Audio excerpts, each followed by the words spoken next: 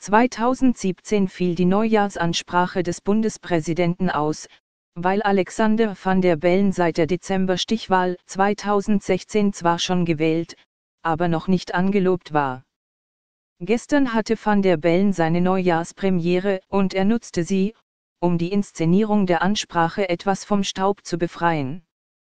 Van der Bellen hielt seine Rede im Kreise von 22 Schülern im Alter von 7 bis 15 Jahren. Sehr oft baute er seine jungen Gäste auch direkt in seine Ansprache ein, so wie ihr mit Neuem und Veränderung ganz selbstverständlich umgeht, so sollten wir Älteren das auch tun, sagte van der Bellen.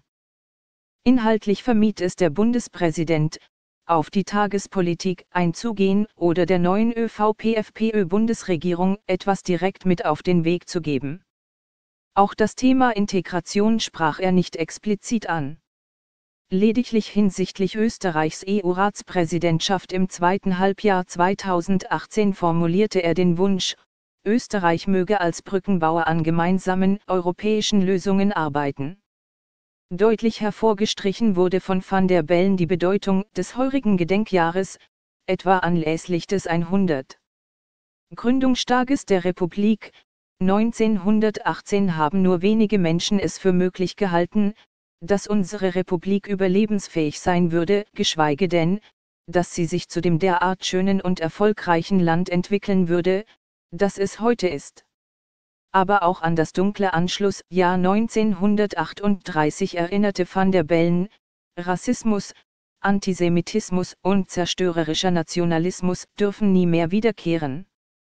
Von den Kindern solle man sich Freude und Zuversicht abschauen, regte der Präsident an. Unser Land hat viele gute Jahre hinter sich. Und wenn wir alle uns Neugier und Offenheit erhalten können, haben wir auch viele gute Jahre vor uns, sagte van der Bellen.